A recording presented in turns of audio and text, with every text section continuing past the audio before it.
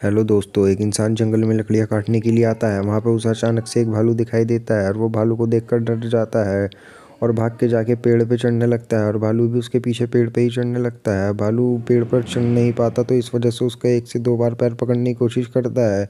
उस इंसान के गुड लक की तो बात यह है कि भालू पेड़ पर नहीं चढ़ पाता और इंसान वो सही सलामत बच जाता है।